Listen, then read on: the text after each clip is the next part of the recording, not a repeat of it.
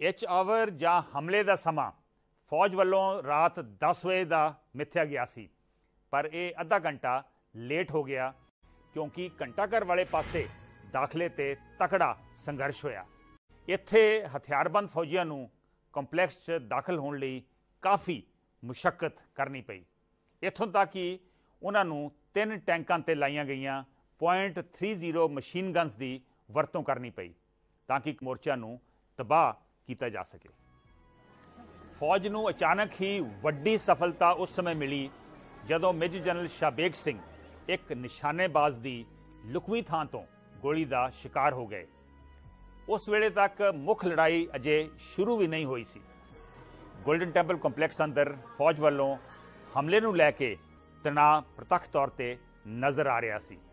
ਉਸ ਵੇਲੇ ਸ਼ਾਬੇਗ ਸਿੰਘ ਕੰਪਲੈਕਸ ਦੇ ਤਿੰਨ ਮੁੱਖ ਦਰਵਾਜ਼ਿਆਂ ਤੇ ਮੋਰਚੇਬੰਦੀ ਦੀ ਨਿਗਰਾਨੀ ਕਰ ਰਹੇ ਸਨ। ਪਰਿਕਰਮਾ 'ਚ ਬਹੁਤ ਹੀ ਘੱਟ ਹਲਚਲ ਸੀ। ਸ਼ਾਬੇਗ ਸਿੰਘ ਇੱਕ ਮੋਰਚੇ ਤੋਂ ਦੂਜੇ ਮੋਰਚੇ ਤੱਕ ਜਾ ਰਹੇ ਸਨ ਅਤੇ ਉਸ ਸਮੇਂ ਤੱਕ ਗੋਲੀਆਂ ਨਾ ਚਲਾਉਣ ਦੀ ਹਦਾਇਤ ਦੇ ਰਹੇ ਸਨ, ਜਦੋਂ ਤੱਕ ਕਿ ਫੌਜ ਹਮਲਾ ਨਹੀਂ ਕਰ ਦਿੰਦੀ। ਅਕਾਲ ਤਖਤ ਸਮੇਤ ਕਿਲੇਬੰਦੀ ਵਾਲੇ ਟਿਕਾਣਿਆਂ ਤੇ ਰੁਕ ਰੁਕ ਕੇ ਗੋਲੀਬਾਰੀ ਜਾਰੀ ਸੀ। ਤਕਰੀਬਨ ਜੀ 10:30 11 ਵਜੇ ਦੇ 11 ਵਜੇ ਦੇ ਕਰੀਬ ਹੋਣਾ ਮਤਲਬ ਕਿ ਟੈਂਕ ਜਿਹੜਾ ਜਿਹੜੀ ਸੀ ਦੁਖ ਭੰਜਨੀ ਵੇਰ, ਇਸ ਪਾਸੇ ਮਤਲਬ ਕਿ ਟੈਂਕ ਆਇਆ। ਤਾਂ ਉਹਨਾਂ ਨੇ ਉੱਥੋਂ ਫਾਇਰਿੰਗ ਸ਼ੁਰੂ ਕੀਤੀ। ਜਿਸ ਤਰ੍ਹਾਂ ਵੀ ਹੋਈ, ਤਾਂ ਜਰਨਲ ਵਿਸ਼ੇਸ਼ ਸਿੰਘ ਨੇ ਉਸ ਵੇਲੇ ਫਿਰ ਆ ਕੇ ਜਿਹੜਾ ਉਹਨਾਂ ਕੋਲੇ ਵੱਡਾ ਹਥਿਆਰ ਸੀਗਾ, ਜਿਹਨੂੰ ਉਹ ਰੱਟ ਲੰਚਰ ਕਹਿੰਦੇ ਸੀਗੇ, ਉਹ ਲੈ ਕੇ ਉਹਨਾਂ ਨੂੰ ਉੱਤੇ ਫਾਇਰ ਕੀਤਾ ਉਹਨਾਂ ਨੇ ਉਸ ਪਾਸਿਓਂ। ਔਰ ਇਸ ਤਰ੍ਹਾਂ ਸੀ ਕਿ ਵੀ ਉੱਥੇ ਇੱਕ ਤਾਂ ਸਾਨੂੰ ਤਾਂ ਐ ਸੀ ਪਤਾ ਨਹੀਂ ਕੀ ਹੋਣ ਲੱਗਾ ਕੀ ਸੀ ਉਸ ਮਤਲਬ ਕਿ ਜਦੋਂ ਵੀ ਕੀ ਜਨਰਲ ਸਾਹਿਬ ਨੇ ਕਿਹਾ ਵੀ ਤੁਸੀਂ ਭਾਈ ਸਿੰਘੋ ਪਾਸੇ ਹਟ ਜਾਓ। ਬੰਬਾਰੀ ਕਾਫੀ ਹੋ ਰਹੀ ਸੀ, ਗੋਲੀਬਾਰੀ ਹੋ ਰਹੀ ਸੀਗੀ ਇਸੇ ਕਿਉਂਕਿ ਉਹਦਾ ਜਿਹੜਾ ਸੀਗਾ ਰੰਗਟ ਲੰਚ ਉਹਦਾ ਚੱਲਣਾ ਮਤਲਬ ਕਾਫੀ ਖਤਰਨਾਕ ਸੀਗਾ ਤੇ ਇਸ ਕਰਕੇ ਸਾਨੂੰ ਸਾਈਡ ਤੇ ਕੀਤਾ, ਉਹਨਾਂ ਤੋਂ ਬਾਅਦ ਉਹਨਾਂ ਨੇ ਚਲਾ ਤੇ ਬੜਾ ਖੜਕਾ ਭਿਆਨਕ ਹੋਇਆ ਉੱਥੇ ਤੇ ਜਨਰਲ ਸਾਹਿਬ ਉੱਥੋਂ ਫਿਰ ਕਿਉਂਕਿ ਆਪ ਉਹਨਾਂ ਨੇ ਇਹ ਸਾਰਾ ਕੁਝ ਕੀਤਾ ਸੀਗਾ। ਉਹ ਤੁਰਦੇ ਫਿਰਦੇ ਸੀ ਜ਼ਿਆਦਾ, ਉਹ ਜੇ ਸਿੰਘਾਂ ਨੂੰ ਪੂਰੀ ਮਤਲਬ ਕਿ ਐਨ ਚੜ੍ਹਦੀ ਕਲਾ ਵਿੱਚ ਰਹਿਣ ਦਾ ਪੂਰਾ ਬਲੋਬਸ ਦੇ ਰਹੇ ਸੀਗੇ। ਮਨੋਬਲ ਉਹਨਾਂ ਦਾ ਪੂਰਾ ਕਾਇਮ ਕਰ ਰਹੇ ਸੀਗੇ ਤੇ ਆਪ ਉਹ ਹਰ ਇੱਕ ਮੋਰਚੇ ਜਾਣ ਦਾ ਕੋਸ਼ਿਸ਼ ਆਪ ਕਰਦੇ ਸੀ ਜਾਂਦੇ ਸੀ। ਸ਼ਾਬੇਗ ਸਿੰਘ ਨੂੰ ਅਚਾਨਕ ਗੋਲੀ ਉਸ ਸਮੇਂ ਲੱਗੀ ਜਦੋਂ ਉਹ ਅਕਾਲ ਤਖਤ ਅਤੇ ਦਰਸ਼ਨੀ ਡੋੜੀ ਵਿਚਕਾਰ ਸਨ। 6 ਤਰੀਕ ਨੂੰ ਤਕਰੀਬਨ 12:30 ਵਜੇ ਪੌਣੇ 1 ਦੇ ਕਰੀਬ ਜਰਨਲ ਸ਼ਵੇਕ ਸਿੰਘ ਜੀ ਜਿਹੜੇ ਮੈਦਾਨੇ ਜੰਗ ਵਿੱਚ ਆਪ ਜੂਝ ਰਹੇ ਸੀਗੇ ਸਿੰਘਾਂ ਦੇ ਨਾਲ ਮੋਰਚਿਆਂ ਵਿੱਚ ਵੀ ਜਦੋਂ ਉਹ ਜਿਹੜੇ ਦੋ ਨਿਸ਼ਾਨ ਸਾਹਿਬ ਨੇ, ਇੱਥੇ ਹੁਕਮਨਾਮਾ ਲਿਖਿਆ ਜਾਂਦਾ ਸੀ। ਪਹਿਲਾਂ ਹੁਣ ਮਹਾਰਾਜ ਜੀ ਦਾ ਪ੍ਰਕਾਸ਼ ਉੱਥੇ ਹੁੰਦਾ ਸੀ, ਖੰਡ ਪਾਠ ਸਾਹਿਬ ਹੁੰਦੇ ਨੇ, ਉਦੋਂ ਕੱਲਾ ਹੁਕਮਨਾਮਾ ਲਿਖਿਆ ਹੁੰਦਾ ਸੀ ਤੇ ਉਹ ਕਮਰਾ ਹੁੰਦਾ ਸੀ ਉੱਥੇ। ਜਦੋਂ ਜਨਰਲ ਸਾਹਿਬ ਉੱਥੋਂ ਦੀ ਲੰਘੇ ਨੇ ਆਪਣਾ ਨਿਸ਼ਾਨ ਸਾਹਿਬਾਂ ਦੇ ਕੋਲ, ਉੱਥੇ ਨਜ਼ਦੀਕ ਆਏ, ਤਾਂ ਉਹਨਾਂ ਨੂੰ ਉਹਨਾਂ ਨੇ ਉੱਥੇ ਬਰਸਤ ਮਾਰਿਆ ਤੇ ਗੋਲੀਆਂ ਵੱਜੀਆਂ। ਤਾਂ ਉਹਨਾਂ ਨੇ ਫਿਰ ਇੱਕ ਆਵਾਜ਼ ਦਿੱਤੀ ਸਿੰਘਾਂ ਨੂੰ। ਤਾਂ ਉਸ ਵੇਲੇ ਉੱਥੋਂ ਉਹਨਾਂ ਨੂੰ ਪਿੱਠ ਤੇ ਚੱਕ ਕੇ ਲੈ ਕੇ ਆਏ ਨੇ। ਤੇ ਜਿਸ ਵੇਲੇ ਉਹਨਾਂ ਨੂੰ ਪਿੱਠ ਤੇ ਚੱਕ ਕੇ ਲਿਆਂਦਾ ਤੇ ਸ਼ਸਤਰ ਮੰਗਿਆ ਤੁਸੀਂ ਦੇ ਦਿਓ ਕਹਿੰਦੇ ਨਹੀਂ ਮੈਂ ਮਹਾਂਪੁਰਖਾਂ ਨੂੰ ਦੇਣਾ। ਨੋ ਸ਼ਬੀਕ ਸਿੰਘ ਨੂੰ ਇੱਕ ਮਸ਼ੀਨ ਗਨ ਦੀਆਂ ਕੁਝ ਗੋਲੀਆਂ ਆ ਕੇ ਵੱਜੀਆਂ ਔਰ ਜ਼ਖਮੀ ਹੋ ਗਏ। ਉਹਨਾਂ ਦੇ ਖੱਬੇ ਪਾਸੇ ਗੋਲੀਆਂ ਲੱਗ ਚੁੱਕੀਆਂ ਸਨ। ਉਹਨਾਂ ਦੇ ਇੱਕ ਹੱਥ ਦੇ ਵਿੱਚ ਕਾਰਬਾਈਨ ਸੀ ਦੂਸਰੇ ਹੱਥ ਦੇ ਵਿੱਚ ਵਾਕੀ ਟਾਕੀ ਸੈੱਟ ਫੜਿਆ ਹੋਇਆ ਸੀ ਔਰ ਉਹਨਾਂ ਦਾ ਸਾਰਾ ਖੱਬਾ ਪਾਸਾ ਲਹੂ ਲਹਾਨ ਸੀ।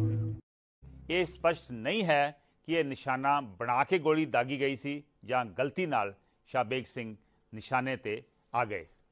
ਜਿਵੇਂ ਹੀ ਉਹ ਡਿੱਗੇ, ਕੁਝ ਹਥਿਆਰਬੰਦ ਵਿਅਕਤੀਆਂ ਦਾ ਗਰੁੱਪ ਉਹਨਾਂ ਨੂੰ ਚੁੱਕਣ ਵਾਸਤੇ ਅਕਾਲ ਤਖਤ ਚੋਂ ਆਇਆ ਅਤੇ ਅੰਦਰ ਲੈ ਗਿਆ।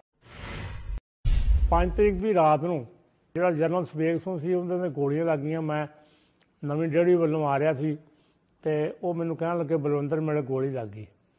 ਤੇ ਮੈਂ ਉਹਨਾਂ ਨੂੰ ਨਾਲ ਚੁੱਕ ਕੇ ਤੇ ਭੋਰੇ ਵਿੱਚ ਖੜਿਆ। ਜਿੱਥੇ ਉਹਨਾਂ ਜਾ ਕੇ ਸੰਤਾਂ ਦੇ ਜਿਹੜਾ ਉਹ, ਆ ਗੋਡਿਆਂ ਤੇ ਸਿਰ ਰੱਖ ਕੇ, ਮੈਂ, ਪੱਟਾਂ ਸਿਰ ਰੱਖ ਕੇ ਪੈ ਗਏ।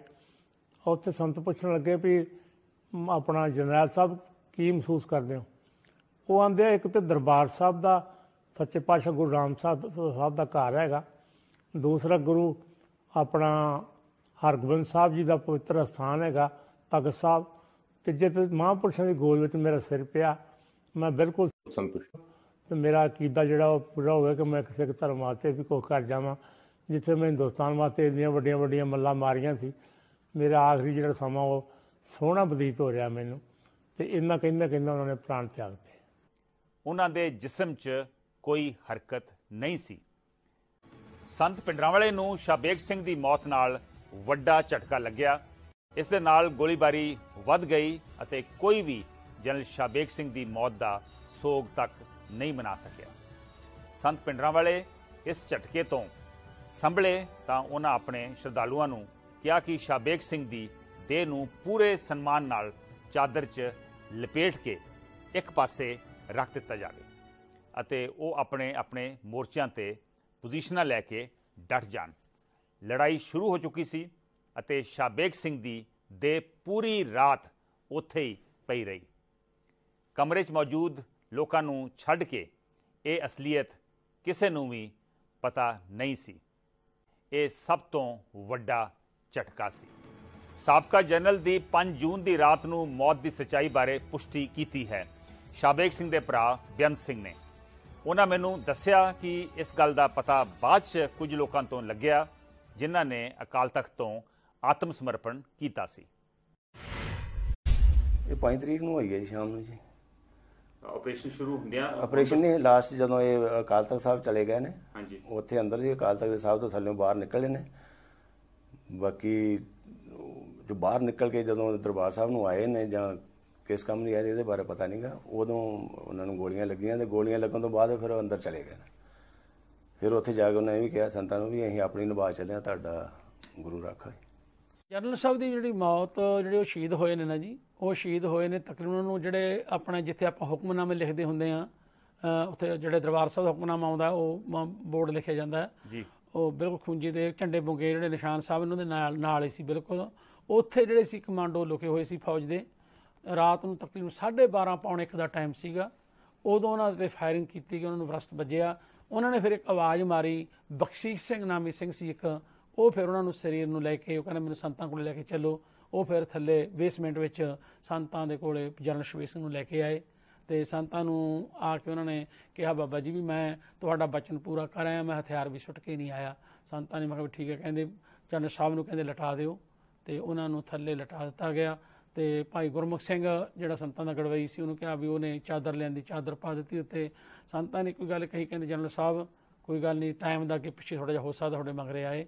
ਤੇ ਤੇ ਸੰਤਾਂ ਨੇ ਕਿਹਾ ਸੀ ਵੀ ਜਿਸ ਦੇਸ਼ ਲਈ ਇਹ ਵੀ ਬਚਨ ਸੰਤਾਂ ਨੇ ਕਹੇ ਵੀ ਜਿਸ ਦੇਸ਼ ਲਈ, ਜਿਸ ਮਤਲਬ ਕਿ ਇਹਨਾਂ ਨੇ ਏਡੀ ਵੱਡੀ ਕੁਰਬਾਨੀ ਕੀਤੀ, ਆਪਣੇ ਜੀਵਨ ਵਿੱਚ ਫੌਜ ਦੀ ਡਿਊਟੀ ਕਰਦਿਆਂ ਹੋਇਆਂ ਦੇਸ਼ ਲਈ ਲੜੇ ਮਰੇ ਆਪਦੀ ਤੇ ਅੱਜ ਉਸ ਦੇਸ਼ ਦੇ ਫੌਜ ਦੇ ਹੱਥੋਂ ਹੀ ਇਹਨਾਂ ਨੂੰ ਸ਼ਹੀਦ ਹੋਣਾ ਪਿਆ। ਫਿਰ ਉਹਨਾਂ ਨੂੰ ਇੱਕਦਮ ਜਿਹੜਾ ਬ੍ਰਸਟ ਵੱਜਿਆ ਸੀ, ਉਸ ਪਾਸੋਂ ਲਹੂ ਦਾ ਦੌਰ ਜਿਹੜਾ ਸੀਗਾ, ਉਹ ਤੇਜ਼ ਹੋ ਗਿਆ ਤੇ ਘਰਾੜਾ ਥੋੜਾ ਜਿਹਾ ਵੱਜਿਆ ਉਹਨਾਂ ਦਾ ਤੇ ਉਸ ਤੋਂ ਬਾਅਦ ਉਹ ਫਿਰ ਉਹ ਨਹੀਂ ਬੋਲੇ ਤੇ ਫਿਰ ਉਹ ਮਤਲਬ ਕਿ ਵੀ ਆਪਣਾ ਜਿਹੜਾ ਪ੍ਰਾਣ ਤਿਆਗ ਗਏ ਸੀ। 7 ਜੂਨ ਨੂੰ ਜਦੋਂ ਫੌਜੀ ਜਵਾਨ ਅਕਾਲ ਤਖਤ ਦੇ ਅੰਦਰ ਦਾਖਲ ਹੋਏ ਅਤੇ ਉੱਥੋਂ ਲਾਸ਼ਾਂ ਨੂੰ ਬਾਹਰ ਕੱਢਣਾ ਸ਼ੁਰੂ ਕੀਤਾ ਤਾਂ ਉਹਨਾਂ ਨੂੰ ਚਾਦਰ 'ਚ ਲਪੇਟੀ ਗਈ, ਇੱਕ ਦੇਹ ਵੀ ਮਿਲੀ। ਫੌਜੀ ਜਵਾਨਾਂ ਨੂੰ ਖਾਬੋ ਖਿਆਲ ਤੱਕ ਨਹੀਂ ਸੀ ਕਿ ਇਹ ਲਾਸ਼ ਸਾਬਕਾ ਮੇਜਰ ਜਨਰਲ ਸ਼ਾਬੇਗ ਸਿੰਘ ਦੀ ਹੈ।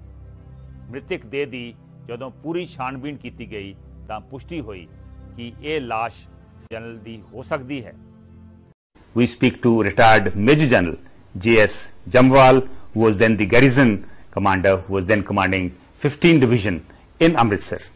जो एक्स जनरल थे शाहबेग सिंह उनकी बॉडी कब मिली उसकी बॉडी तो बाद में मिली है हमको we had found the body काफ़ी केसेस काफ़ी केसेस से भरा हुआ था the ammunition fired by the people from the Golden Temple was so much कि जब हम गए हैं अंदर तो अभी तक वो गर्म लग रहा था और वो शेल्स अभी तक गर्म थे one can't even walk on that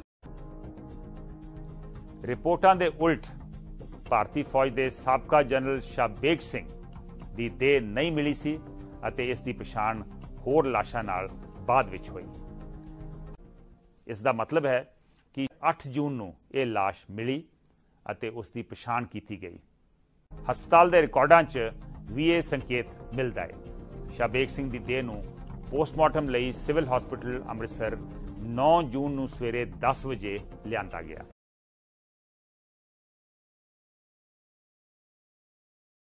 general Shabeg Singh ਦਾ ਜਿਹੜਾ ਸੰਸਕਾਰ ਕੀਤਾ ਗਿਆ ਉਹ ਆਰਮੀ ਸਨਮਾਨ ਨਾਲ ਕੀਤਾ ਗਿਆ ਕਾਫੀ ਜ਼ਿਆਦਾ। ਫਰਵਰੀ 84 ਦੇ ਵਿੱਚ ਇੱਕ ਜਿਹੜੀ ਉੱਥੋਂ ਦੀ ਖੰਨਾ ਦੇ ਕੇ ਖੰਨਾ ਦੀ ਜਿਹੜੀ ਸਪੈਸ਼ਲ ਕੋਰਟ ਸੀ ਐਂਟੀ ਕਰਪਸ਼ਨ ਕੋਰਟ ਕਰਪਸ਼ਨ ਉਸ ਦੇ ਵਿੱਚ ਲਖਨਊ ਤੋਂ ਉਹ ਬਰੀ ਕਰ ਦਿੱਤਾ ਗਿਆ ਸੀ। ਬਿਲਕੁਲ ਬਰੀ ਹੋ ਗਿਆ ਸੀ। ਉਹਦੇ ਉੱਤੇ ਜਿਹੜਾ ਕੇਸ ਸੀ, ਜਿਹਦੇ ਨਾਲ ਉਹ ਕਹਿੰਦੇ ਹੁੰਦੇ ਸੀ ਵੀ ਉਹਦੇ ਤੇ ਕਰਪਸ਼ਨ ਦਾ ਕੇਸ ਆ ਡਿਸਮਿਸ ਕਰ ਦਿੱਤਾ ਗਿਆ। ਉਹਦੀ, ਉਹਦੇ ਸਾਰੇ ਬੈਨੀਫਿਟ ਉਹ ਤੋਂ ਲੈ ਲਏ ਗਏ, ਜਿਹੜੇ ਮਿਲਨੇ ਰਿਟਾਇਰਮੈਂਟ ਤੇ ਮਿਲਨੇ ਸੀ ਉਹ ਜਿੱਤ ਗਿਆ ਸੀ ਕੇਸ। ਲਖਨਊ ਸੀਬੀਆਈ ਕੋਰਟ 'ਚੋਂ ਕੇਸ ਜਿੱਤ ਗਿਆ ਸੀਗਾ। ਉਹ ਬਹਾਲ ਹੋ ਗਿਆ ਸੀ ਕੁਝ ਮਹੀਨੇ ਪਹਿਲਾਂ। ਇਸ ਬਹਾਲ ਹੋਣ ਕਰਕੇ ਉਸ ਨੂੰ ਫਿਰ ਸਰਕਾਰ ਫੌਜੀ ਸਨਮਾਨਾਂ ਨਾਲ ਉਹਦਾ ਸੰਸਕਾਰ ਹੋਇਆ।